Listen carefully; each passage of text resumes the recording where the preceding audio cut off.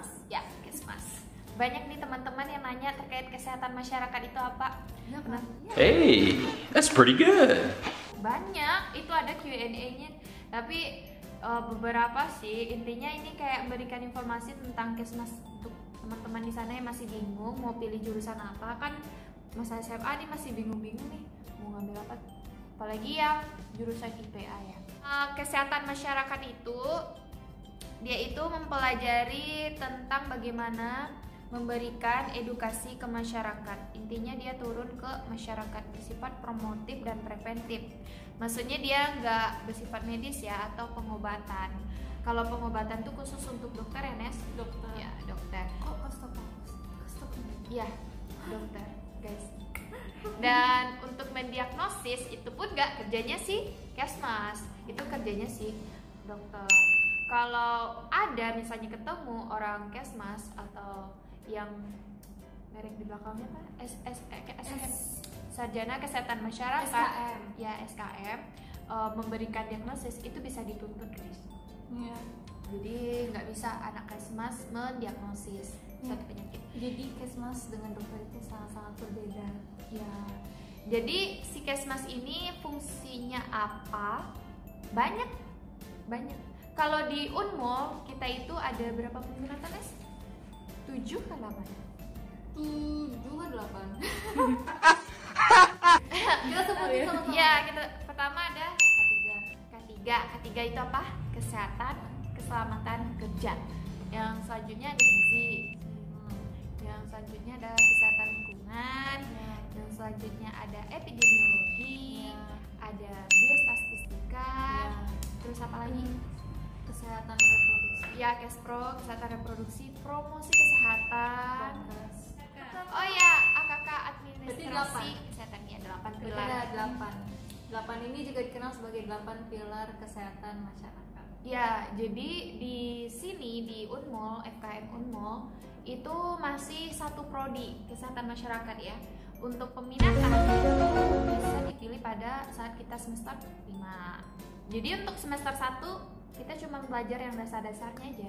Sebagai pengenalan kita ke kesehatan masyarakat. ya misalnya kayak dasar-dasar biomedik eh, itu pun biomedik cuma sampai semester 2 ya Iya. pada kita sem- saat semester 1 kita juga belajar bahasa Indonesia Ke pada saat kita semester satu itu kita masih ada pelajaran umum iya pelajaran umum yang dipelajari semua semester 1 di universitas. Mm-mm. Semester 2 kita sudah diperkenalkan ke penjurusannya ya seperti itu. Kayak kita sudah di- ada dasar promosi kesehatan, dasar gizi, dasar eh, apa lagi? Dasar Kesling. Kespro Iya, kayak Ya. gitu. peminatan ini tergan eh, dilihat dari Nilai. IPK kita ya atau nilai-nilai misalnya A, Nilai. B, C, D, E. Kok A, B, C, D, E?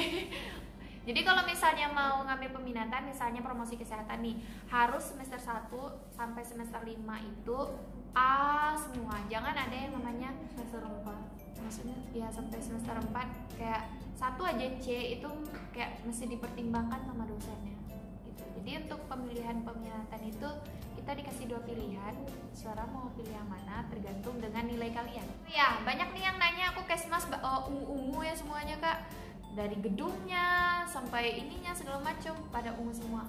Jadi itu ada lambangnya kan Mas? Itu artinya pengabdian. ya pengabdian. Jadi ungu itu artinya pengabdian. Mau kalian pergi ke ke ke mana? Kayaknya semua ke Papua mau ke Jawa mau ke Bandung Surabaya semua universitas itu kesmasnya identiknya warna ungu. Memang artinya pengabdian. Nah setelah itu apalagi? Eh, ah lapangan pekerjaannya ke depan banyak sih luas banget. Banyak. Karena kan di Kesmas itu kan ada delapan pilar itu. Ya. Delapan pilar itu bisa dibilang kayak mencakup semuanya. Hmm, betul. Jadi luas banget gitu. Tergantung dengan apa peminatan apa yang dipilih nanti. Iya. Jadi eh, bisa kalian jadi kepala rumah sakit ataupun jadi dosen ataupun eh, kerja di apa di puskesmas. Nggak harus di puskesmas sih Kerja di perusahaan bisa. K3 itu termasuk peminatan yang paling banyak di sini dipilih oleh mahasiswa. Karena Unmul. ya peminatan kedua. Iya sih tapi eh, saya juga pas awal masuk tuh juga peminatan kedua ya. Iya. peminatan pertama saya tuh ada di yang lain. Mm.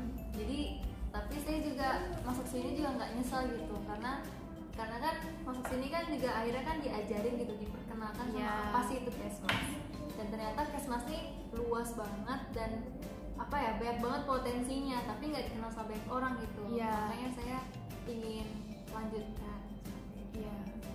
Terus eh, tambahan lagi terkait apa namanya pekerjaan yang sarjana kesehatan ini bisa juga kita jadi konsultasi konsul apa iya konsultasi.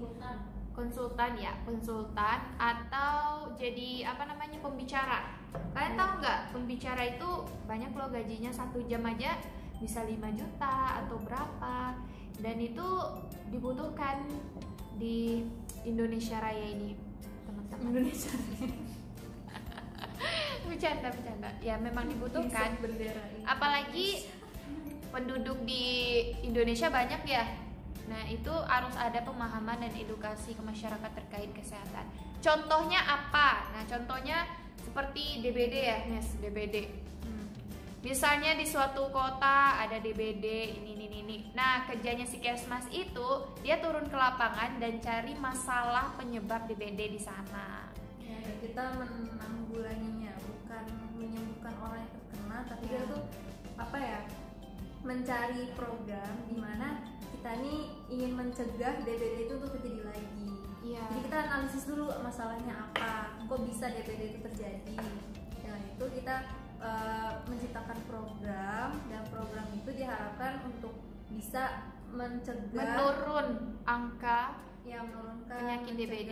penyakit DBD atau kasus DBD di daerah tersebut. ya Jadi Kesmas nih eh, bukan seperti diulangi lagi ya itu kan kayak dokter dokter itu kan menyembuhkan. Itu salah banget kalau itu salah banget. Dokter. tapi Kesmas itu lebih ke pencegahan. Ya, Jadi lebih kita ke tuh ingin promosi mencegah lah penyakit itu terjadi sebelum terjadi gitu. Ya dan itu kita mempromosikan kesehatan adalah tadi. Yang tadinya orang sehat kita kasih edukasi jadi tambah sehat lagi. Contohnya kita sering ngasih tahu wajib minum 2 liter per hari itu memang wajib teman-teman. Soalnya di tubuh kita kan banyak cairan harus banyak cairan. Kalau nggak dehidrasi ya kan Nes ya. Terus pelajarannya susah atau gampang? Kalau pelajaran satu gampang tuh malah tergantung dosennya. Iya sih tergantung dosen. Dan alhamdulillah dosen-dosen FKM tuh seru-seru semua. Ya seru. Nggak terlalu monoton FKM Unmul FKM Unmul ya. tahu iya sih. Tapi sejauh ini di FKM Unmul nih dosennya seru-seru ya seru-seru. Mungkin ada yang kayak menegangkan. Cuman satu atau dua orang. Iya Iya, cuman- nggak banyak sih. iya. tapi ya seru-seru semua kok dosennya di sini. Kecuali kalau misalnya dosen dari luar. Ya Nah, dosen biasanya ada tuh kalau misalnya kalian kuliah itu kan ada pasti ada dosen di dalam yang dari emang murni dari fakultasnya. Fakultas tapi ada juga dosen yang dari luar. Ya itu juga pasti diperlukan kayak uh, kita kan Waktu ada semester satu semester banyak tuh. banyak karena bahasa Indonesia kan nggak di Indonesia. Kesmas toh Di FK. Inggris Ya. keluarga negaraan ya masih keluarga ya yang penting banyak deh kalau di itu semuanya Tapi kita pelajari tapi semakin naik ya semakin mendasar lebih pokok-pokoknya kita kita gitu ya.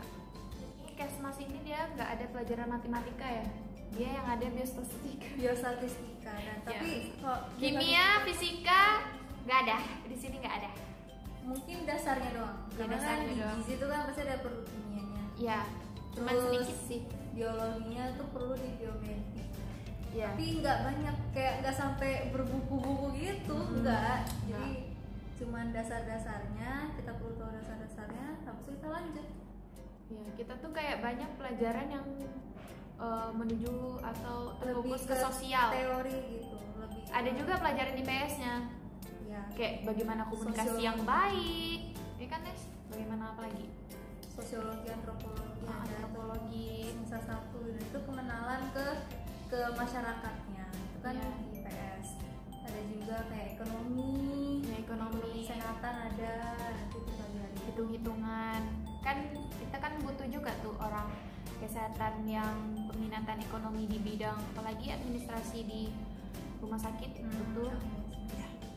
Jadi kesmasnya lebih kayak campuran banyak hal. Banyak ya ada yang pelajaran dari FMIPA, FKIP, dari IPA IPS dan sebagainya banyak. Di sini dipelajari semua. Ya intinya eh, di misalnya kedokteran nih ada yang nggak dipelajari tetapi di kesmas itu dipelajari. Kalau kedokteran kan pasti lebih ke biologisnya Ya, lebih ke bedah-bedah. lebih apa nyuntik-nyuntik. Jadi kalau kesmas dia nggak nyuntik kalau kesmas nggak itu lebih ya, nggak beda-beda. sosialnya. lebih Lebih ke sosial. masyarakat. Sedangkan kalau kedokteran itu lebih ke individu. Ya individu. Nah itu aja. mungkin sekian dari bincang-bincang kita hari ini. Semoga kalian eh, paham deh terkait kesmas itu apa. Jadi jangan salah persepsi lagi ya kalau kesmas sama dengan kedokteran kalau ada tanyain aja. Ya kalau masih bingung silakan nanti komen di kolom komentar. Insya Allah kami jawab. Oke. Eh, Sekian dari video kali ini. Semoga bermanfaat. Assalamualaikum